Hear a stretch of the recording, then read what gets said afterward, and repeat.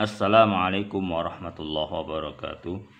Sahabat wasilatuna Ada mahasiswi bertanya terkait dengan bagaimana Memunculkan uh, keyboard versi 102 Apa itu keyboard versi 101 atau dan uh, keyboard versi 102 di sini perlu kita sampaikan dulu apabila sahabat belum memahaminya pada menu bahasa bahasa Arab itu ada versi 101 yakni yang ada di dalam kurung. Arabic 101 keyboard. Dan inilah istilah yang sering eh, saya eh, gunakan menjadi istilah versi.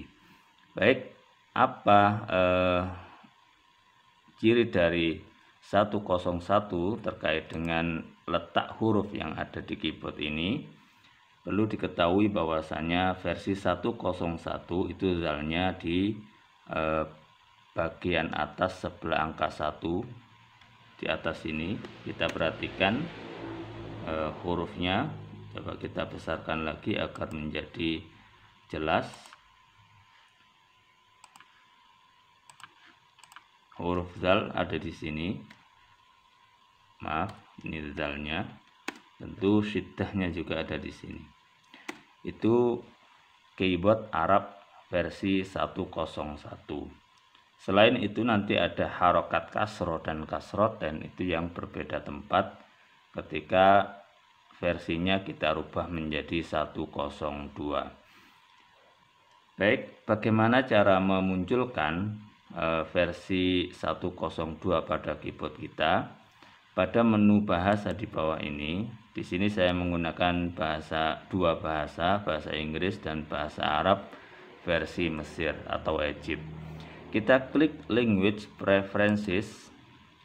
Perlu diketahui sahabat bahwasanya saya menggunakan Windows 10 apabila nanti eh, laptop atau program yang dipakai adalah berbeda tentu bisa jadi tampilan yang ada adalah berbeda pula.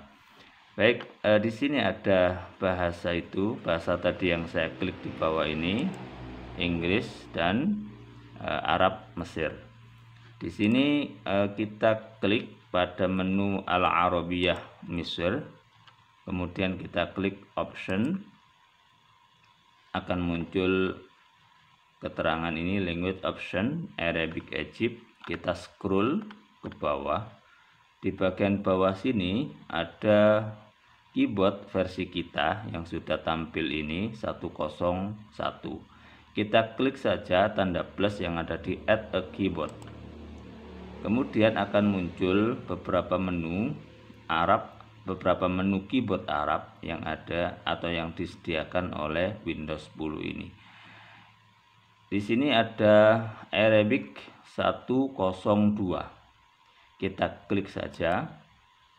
Kemudian akan muncul di e, bawahnya sini. Apa yang terjadi ketika kita sudah meng-add e, Arabic 102? Kita perhatikan bahasa e, di bagian bahasa ini akan muncul dua bahasa dua keyboard. Yang satunya versinya 101 yang satunya 102 baik kita praktekkan dulu untuk mengetahui apa bedanya. Untuk keyboard 102 itu huruf zalnya ada di sebelah atau di sekitaran enter. Yakni pada keyboard saya ini ada di atasnya enter. Di sini huruf eh, maaf ini masih 101 kita pindah dulu menjadi 102 agar yang kita inginkan uh, sesuai. Kita coba di sini zal. Zal zal. Kemudian syiddah shift plus garis miring tadi. Ini sudah menjadi syiddah.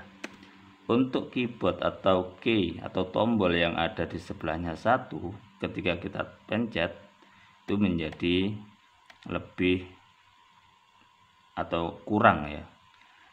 Kurang dari. Baik, untuk harokat juga itu akan berbeda. Ketika 101 itu harokat kasrohnya ada di sebelah sini, shift C, kemudian kasrotennya adalah shift V.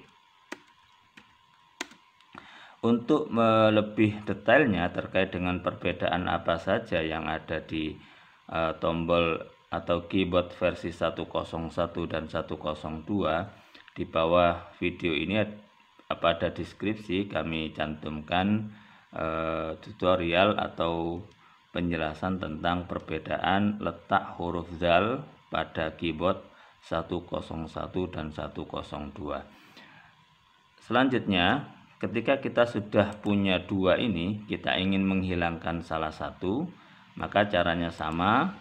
Kita klik saja. Language preferences. Kemudian kita balik ke sini ke bahasa Arabnya. Kemudian kita klik option. Lalu kita scroll ke atas. Di sini kita klik salah satu yang ingin kita buang. Karena saya terbiasa dengan versi 101 maka versi 102 saya hilangkan. Caranya kita klik kemudian di bawah sini ada tulisan remove. Kita klik remove bahasanya hilang tinggal satu. Kita cek di bagian bawah sini tinggal satu juga. Demikian bagaimana cara menambahkan Arabic 102 keyboard pada laptop kita syukron mudah-mudahan ada manfaatnya jangan lupa support terus channel ini wasilatuna media berbagi ilmu. Wassalamualaikum warahmatullahi wabarakatuh.